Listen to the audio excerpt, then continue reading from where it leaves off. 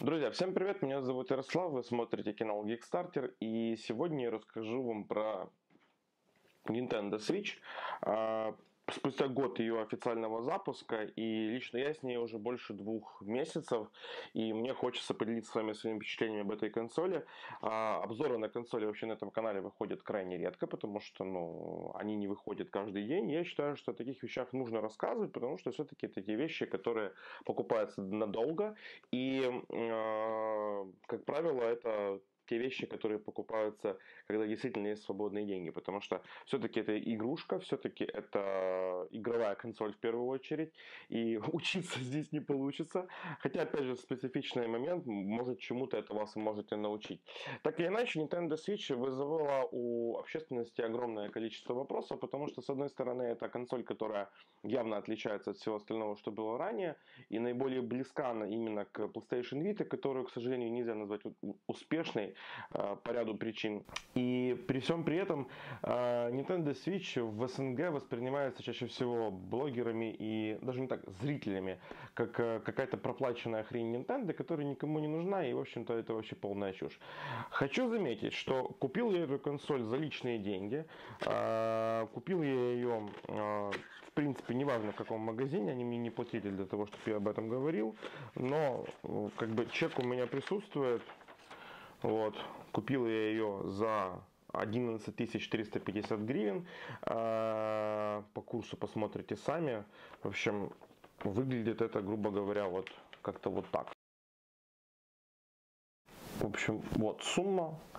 А, это все дело было приобретено. А, сначала я купил ее с целью, ну, во-первых, ознакомиться, во-вторых, снять вам обзор.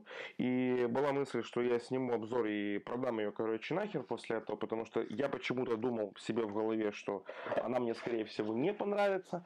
Но через некоторое время а, получилось так, что я понял, что продавать я ее не буду, потому что она все-таки очень круто вошла в мою жизнь. Видео будет не коротким, поэтому готовьте чай и бутерброды.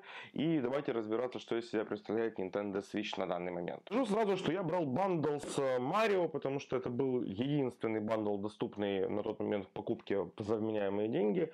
А, этот, эта версия Switch а идет с красными Joy-Con ами, о них мы еще тоже подробно сегодня будем говорить. И помимо этого я сразу прикупил официальный чехол типа под кожу, вот такого плана. Чем он мне понравился? Тем, что он не надевается на саму консоль, а просто является способом ее переноски, может выступать в роли подставки, и в комплекте шла э, здоровенная пленка на экран, которая свечу в принципе нужна, потому что э, по неизвестным причинам Nintendo как-то очень криворуко соорудила э, непосредственно конструкцию док-станции, и в конечном итоге через некоторое время вы можете поцарапать экран просто потому, что вы слаживаете Switch в свой официальный Cradle. Короче, неприятная херня, поэтому вот эта штука, она в принципе необходима к покупке. Я считаю, что ну, нужно купить ее, если вы планируете пользоваться свечом длительное время. Что касаемо самого свеча, он оказался не сверх большим, потому что у меня была картинка мира, что это какая-то очень большая штука где-то в размерах iPad, но на самом деле он оказался довольно компактным и большим кажется лишь пару секунд после того, как вы его распаковали. Через некоторое время, когда вы начинаете им пользоваться, вы понимаете, что это довольно компактная штука в целом, и она много места в портфеле не отнимает. А опять же, в паре с кейсом это вообще очень комфортная, ультимативная история. А, сами джойконы отстегиваются, это как бы не новость, их можно снять и использовать отдельно от свеча в режиме настольном, либо к телевизору. А, не могу сказать, что я частенько их снимал, как правило, я использую Switch именно в формате handheld консоли, потому что ну, как-то дома есть PlayStation, причем это не единственное, есть еще тройка, есть четверка, и в большие серьезные игры все-таки играю чаще там. Но так уж получилось, что играть всякую херню на свече у меня тоже не получилось. А, как вы уже поняли, у меня в комплекте тут э, Марио, и изначально это была единственная игра, в которой я играл на свече. И первое, что меня удивило в Марио, то что это все-таки игра, в первую очередь. Э, и я хочу сейчас сразу ну, э, пояснить момент. Многие считают, что а, Марио это такой же там типа штамп, а, как Call of Duty, как FIFA, который выходит каждый божий год и ничем вроде как не отличается от предыдущей. Хотя это на самом деле абсолютно не так, потому что последняя номерная большая Марио, которая была с Open World и вот со всей этой историей, это, насколько я понимаю, Nintendo 64 консоль, Mario 64. Я, опять же, могу ошибаться, возможно, было что-то еще на Wii U, Wii U у меня не было. И, судя по всему, я не особо много потерял. Но Mario Odyssey это, наверное, один из лучших open world, которые есть на сейчас в принципе на консолях. И э, объективно, наверное, лучший вообще в принципе платформер. А, я уже играл, опять же, в тот же самый Ratchet Clank на PlayStation 4. А, я играл в Knack первую, первую часть. И из всех этих трех игр, которые якобы милые и с open именно Марио показался мне наиболее продуманным до мелочей, э, в принципе, игрой. Помимо этого, на свече у меня есть, конечно же, богоподобная Зельда, и я тоже буду в э, клане тех чуваков, которые будут говорить, что Зельда это действительно легендарная игра во всех смыслах, потому что а, то, что э, те эмоции и те истории, которые я сейчас переживаю в Зельде, э, сложно с чем-то сравнить, потому что, ну, во-первых, у Зельды Э, немного есть похожих игр в таком жанре. Э, многие могут сказать, что это Skyrim, только слегка мультяшный. Я отчасти, наверное, соглашусь, но все-таки в Skyrim было некоторое ощущение того, что у вас все-таки идут по какой-то большой, но прописанной истории. А вот в случае с Зельдой у меня практически все прохождение сводится к тому, что само окружение и ситуации с искусственным интеллектом меня развлекают. Это очень странная херня, но в этой игре безумное количество деталей, офигенно интерактивный мир, потому потому что я не помню игр, в которых можно было, э, ну разве что Far Cry 3, и то это была как одна единственная фишка, связанная с open world, которая в глаза бросалась. Вы можете поджечь пол и буквально взлететь, то есть от того, что горячий воздух поднимается вверх, и вы с помощью параплана облетаете какие-то препятствия. Ну то есть это такой банальный пример, но в этой игре реально огромное количество интерактивных объектов, э, сумасшедший здоровый мир, который хочется исследовать.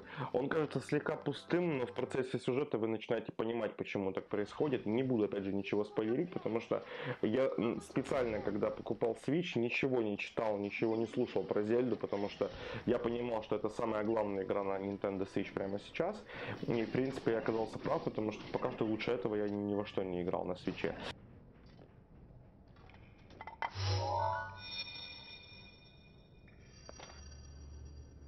Спасибо. Благодаря тебе моя душа снова свободна. И Рута опять с нами. Хотя мы больше не сможем проводить время вместе, как раньше.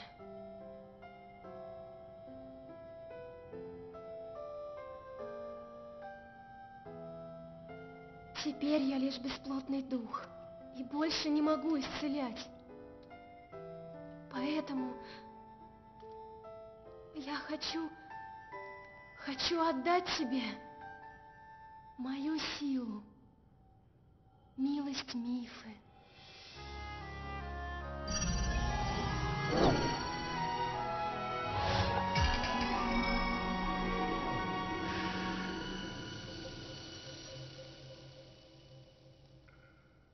Еще вчера я рыдала. Я думала, что моя душа обречена томиться здесь в одиночестве целую вечность. Но сегодня ты, ты освободил меня, Линк, и мы снова с тобой встретились. Теперь ты всегда можешь использовать мою силу. Поэтому я очень рада. Ну, мне пора. Я должна успеть подготовить Руту. Когда ты начнешь решающий бой с Гананом в замке Хайрул, нам нельзя будет медлить. Линк, пожалуйста, спаси ее. Спаси принцессу.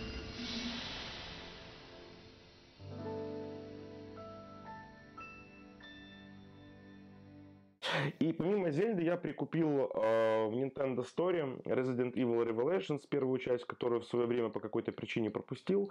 Э, и она вот в формате свеча очень офигенно игралась. Э, как альтернатива Марио и Зельде, потому что все-таки Зельда и Марио довольно добрые игры в целом, которые приятные глазу, которые яркие, а вот э, Resident Evil Revelations это, очевидно, очень угрюмая, злая игра про зомби и, и плохих парней.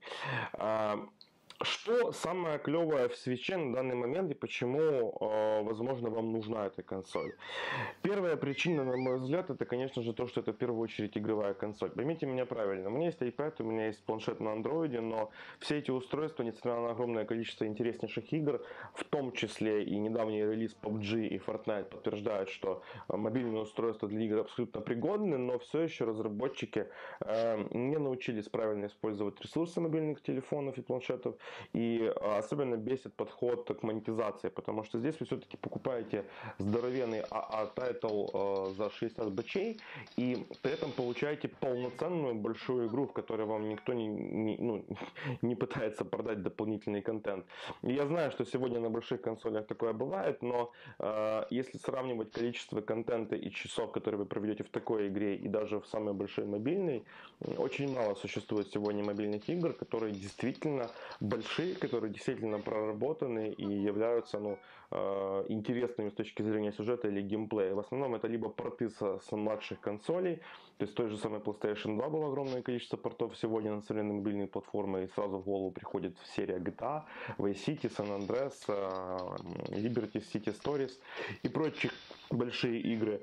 Но в целом э, каких-то больших проектов, которые вот прямо для мобилок были ориентированы, вспомнить много не получается. И единственное, что мне в голову приходит из больших классных игр на мобильное устройство, это опять же Vainglory как сетевая дота, очень крутая во всех смыслах, которая является действительно мобильным проектом, то есть она не имеет никаких э, портов на большие ПК, либо Mac, либо и так далее, ну, консоли.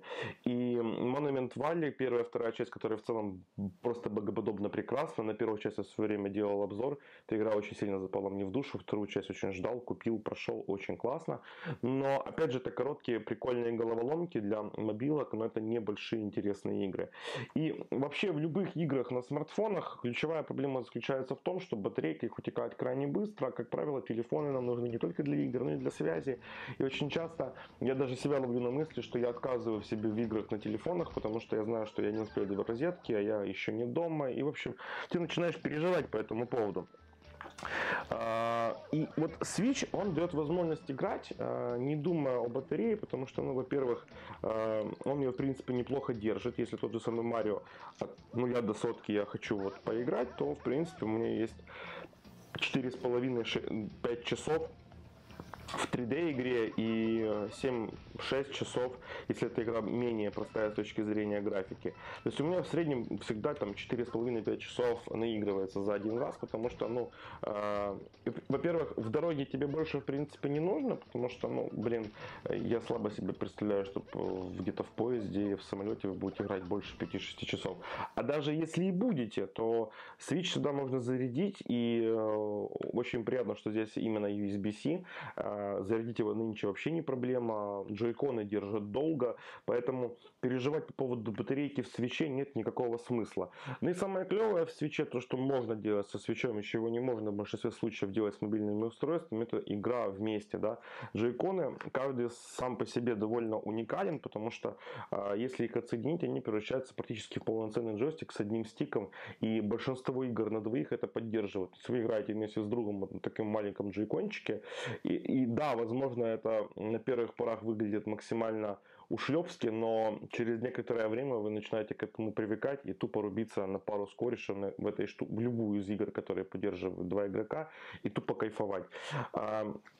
Если вы довольно социальный, у вас есть друзья, которые готовы разделить с вами э, игру на свече, то это, это прикольно. То, что вы можете, опять же, вдвоем поиграть сразу на одной консоли. Вам не нужно докупать что-либо еще. Это очень круто.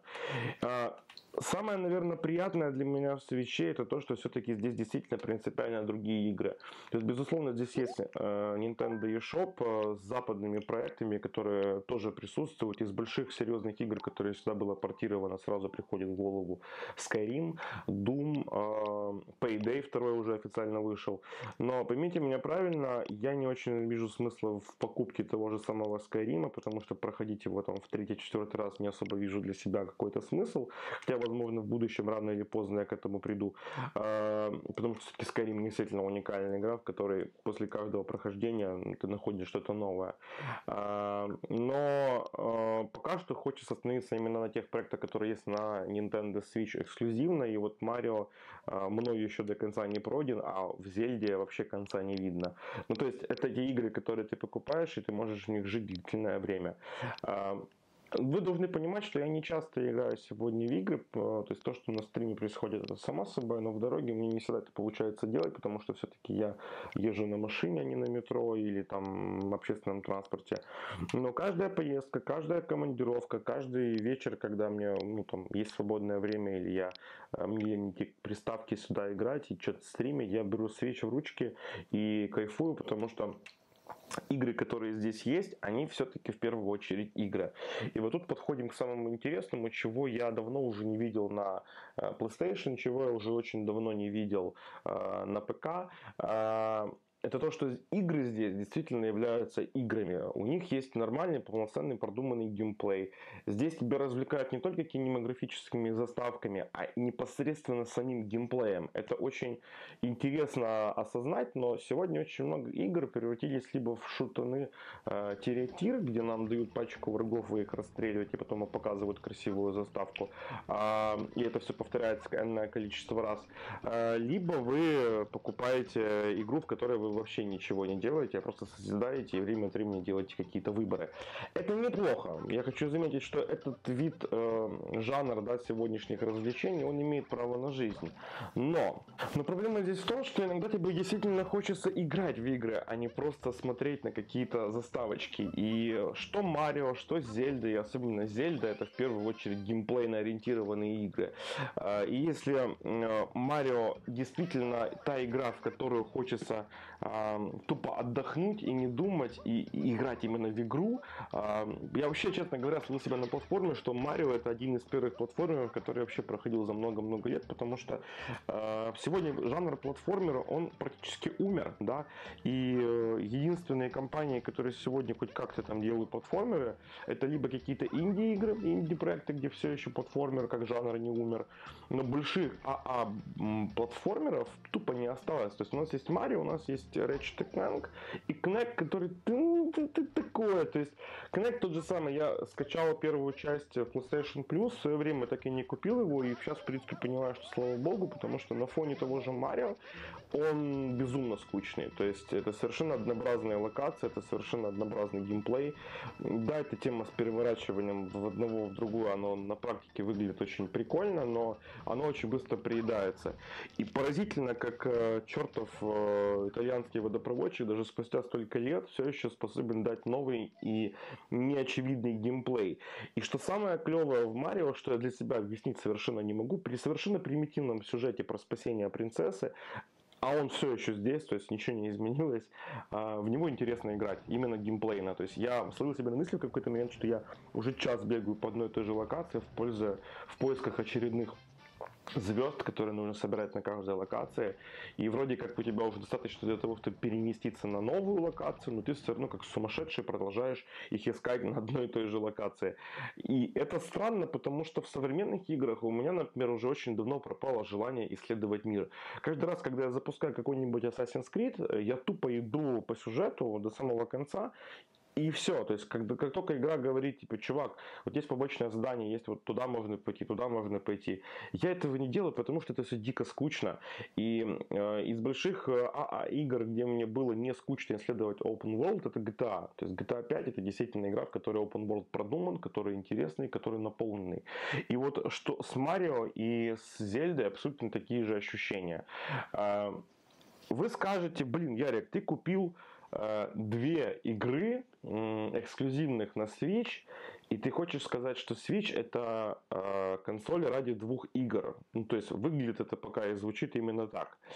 С одной стороны, вы, наверное, правы, потому что на данный момент это действительно две игры, в которые я большую часть времени играю.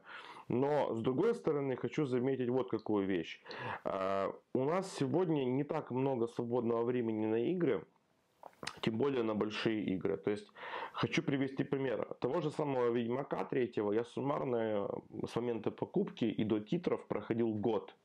Э, у современного человека, лично я про себя сейчас говорю, да, нет там 12 часов в сутки для того, чтобы играть в open игры в, запо в запой. И для меня Switch стал отдушенным, потому что я начал находить время на игры э, где-то не дома и в тех местах, где я обычно не играю. Это, во-первых, меня дико поразило и обрадовало, и что мне еще больше всего нравится, то, что в свече игры все-таки чуточку другие.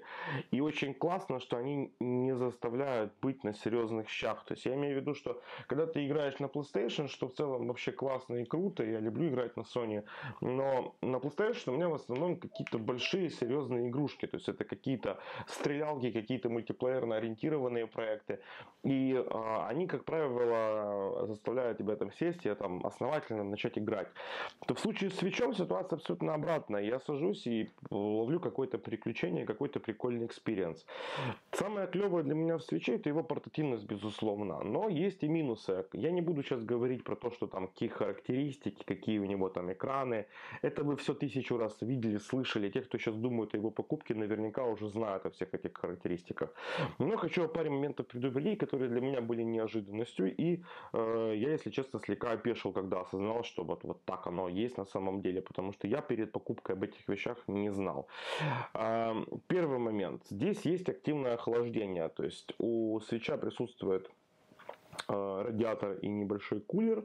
Я за время игры в handheld режиме о нем не слышал ни разу, однако, когда вы вставляете Switch в док, то он рисует картинку не 720p, а Full HD, либо 960p в зависимости от игры, и активный вентилятор включается, и его даже чуть-чуть слышно. Но вы должны понимать, что даже под самой большой нагрузкой, по сравнению с моей PlayStation Fat 4, э, вентилятора здесь, считай, нет. То есть его не слышно слышно вообще, и это ну, не то чтобы минус, но вы должны понимать, что есть здесь кое-что, что может дуть. Второй момент. К Nintendo Switch на данный момент невозможно подключить беспроводные наушники вообще никоим образом. То есть функция Bluetooth в принципе отсутствует. Вы не можете подключить к нему беспроводные наушники, AirPods и прочее. Все это дело здесь работать не будет. А в чем причина такого решения? Меня отчасти я догадываюсь, почему так. Потому что оба контроллера работают по Bluetooth. Они одновременно подключаются к одному и тому же Bluetooth модулю. И, скорее всего, Bluetooth наушники здесь не работают, опять же, по той же причине, по которой они не работают на PlayStation, для того, чтобы задержка между контроллером и вашей приставкой была минимальна. Рад ли я этому? Не очень, потому что у меня есть беспроводные наушники, целых две пары на данный момент, и мне приходится одни из них подключать проводом, когда я хочу играть в Switch. Это меня бесит слегка, и было бы классно, чтобы все-таки беспроводной звук здесь был. Второй момент, о котором, опять же, в обзорах особо не говорилось. А, здесь есть э, такая вот э, ну, типа подставочка для того, чтобы поставить консоль, условно говоря, на стол, снять джойконы и играть. То есть идея как бы такая. Но проблема в том, что это, вот эта подставочка, она настолько хлипкая и настолько несчастная, что я понимаю, что если вы вдруг забудете ее убрать, это то, что вы первым сломаете случайным образом. Под ней, кстати, спрятан слот под карту памяти microSD, э, который я, к слову, еще не вставлял, пока что хватает внутренней памяти, и э, я пока не вижу смысла для расширения расширение ее. Возможно, в будущем я это сделаю. Следующий момент. А, экран Switch сенсорный, но мне абсолютно непонятно зачем. А, я пока что не нашел игры, в которых сенсорный экран хоть, как, хоть как-то задействовался. Возможно, Nintendo сделала это просто потому, что сегодня выпускать не сенсорный экран в портативном устройстве это тупо странно.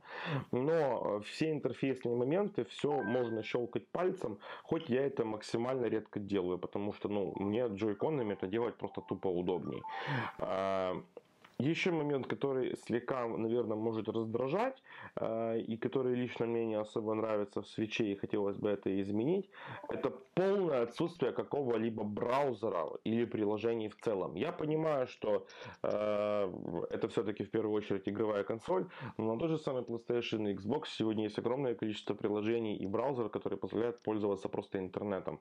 Э, вы скажете, на какой хрен на консоли браузер? Я вам скажу, что это портативная консоль, и было бы круто, чтобы здесь браузер был, потому что опять же, а, когда я ехал в последний раз а, в, на горнолыжный курорт, э, скажем так, по работе, как ни странно, сейчас многие будут думать, что я вообще зажирался по работе ездить на горнолыжный курорт, но тем не менее такая ситуация была.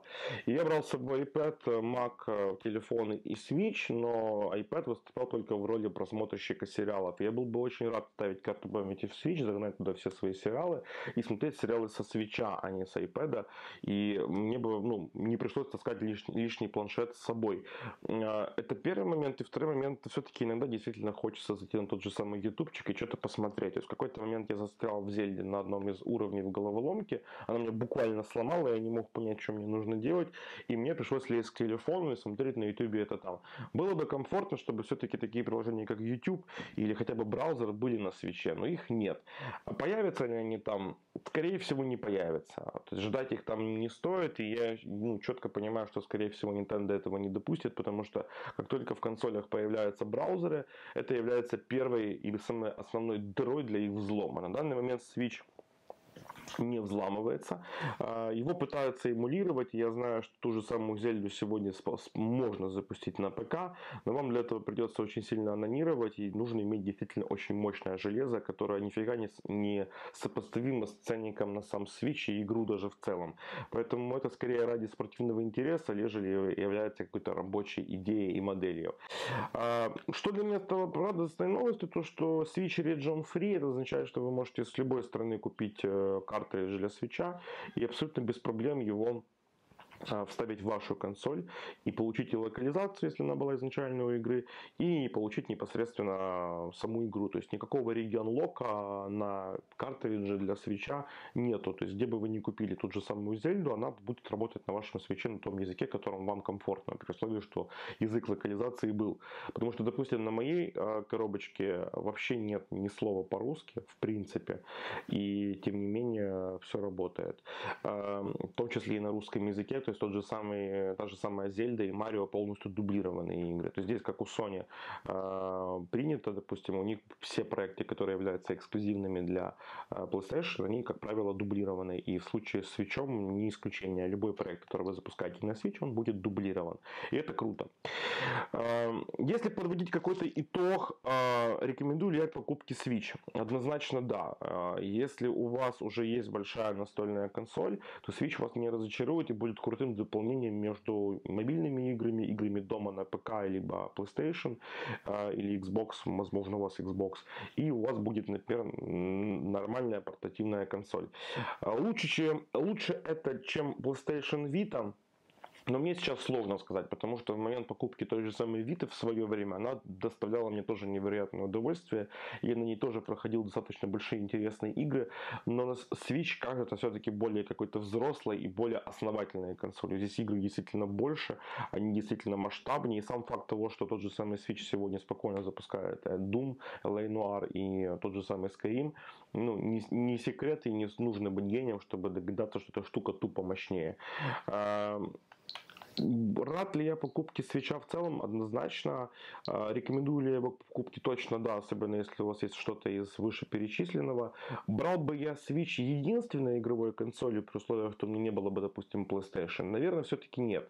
То есть эта штука имеет смысл только в тот момент, когда уже у вас есть основная игровая платформа, когда уже у вас есть PlayStation и, или ПК мощный, и только потом бы я бы на вашем месте переходил бы к покупке свеча. Потому что если сравнивать количество игр эксклюзивных и интересных, которые есть сегодня у Sony и которые есть здесь, они, конечно же, абсолютно несопоставимы. Консоль все еще слишком молодая, чтобы хоть как-то с этим тягаться.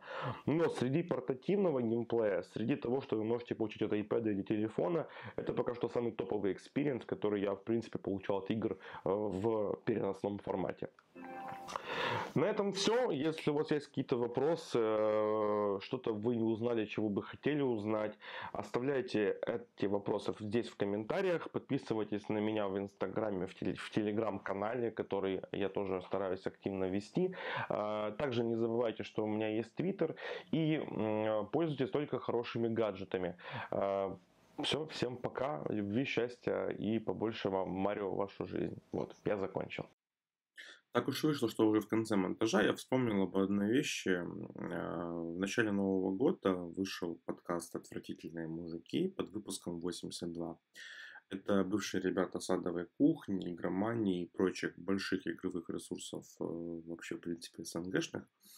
И э, хочу вам поставить фрагмент этого подкаста. Это Илья Овчаренко, нынешний и, по-моему, основатель gm.gembox.ru, а, имел прямое отношение к Канобу, сейчас работает на, параллельно в Вилсаком Медиа. В общем, многоуважаемый на самом деле человек в игровой индустрии не только. И вот что этот человек думает о Nintendo Switch. Для меня это, наверное, самое большое олицетворение всего, всей той квинтэссенции мыслей, которые я вам тут полчаса втирал. В общем, слушаем, ставим лойсы, пишем комменты.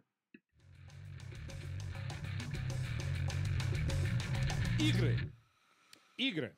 Лучшие игры года. Выбираем по одной. Каждый называем, быстро обосновываем, сремся, орем, уходим. Класс.